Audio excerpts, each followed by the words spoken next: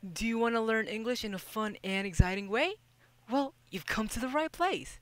Hi, my name is Grant, and I'm from the Philippines.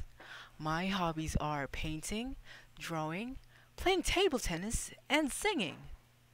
I have taught Japanese students, and they're the best students to teach because of their kind and polite attitude. I have taught children, high school students, university students, and working professionals. And we have a lot of fun in class because we have interesting conversations, and I also adjust to my students' needs.